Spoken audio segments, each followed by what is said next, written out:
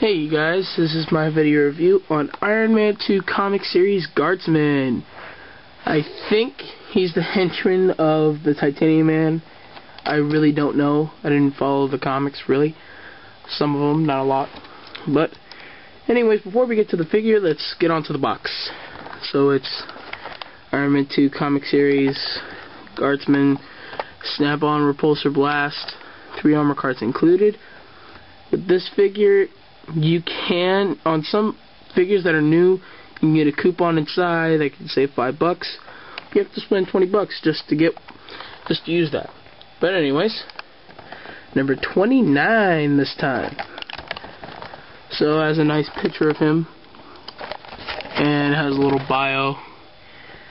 Um, the other figures you can get uh, number 27, Hulkbuster Iron Man. Number 28, Iron Man. Number 30, Iron Man. So, let's get on with, let's get away from the Iron Man. Like, right now, I'm supposed to pay, pay attention to this guy. Guardsman. Let's take him up stand. Well, he is, he has a very, very good looking, good, good looking sculpt. Uh, he's very shiny with the dark green and the very shiny green. So let's take this off for a second.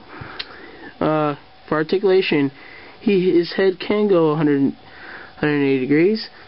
So can his hands, his forearm, basically his arm, and his whole arm can do the same thing. He has lots of articulation. Uh, his upper body can go 180 degrees. Very interesting. Look at that. Um, his feet can do the same thing. His legs can do the same thing for both.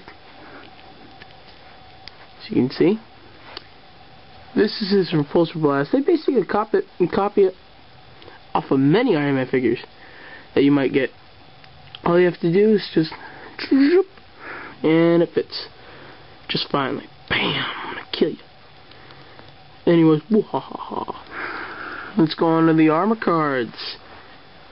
So, this is what they got. They got a dark blue on here.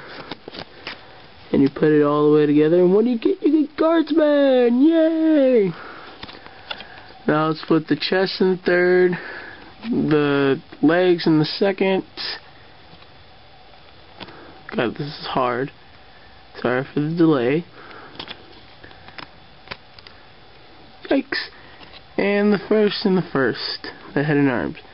And you get a digital copy of him. Yay! Um, if you have any requests, or you can also comment this video. Say if you wanna want me to review anything, I can. Um, also, make sure to to watch Iron Man 2, because if if you don't know some of these guys, or also watch the TV show, maybe read the comics. Because if you don't know who these guys are, you're just looking at pretty figures. That's all you're doing. But if you want to collect them, that's not my problem. But, uh, peace.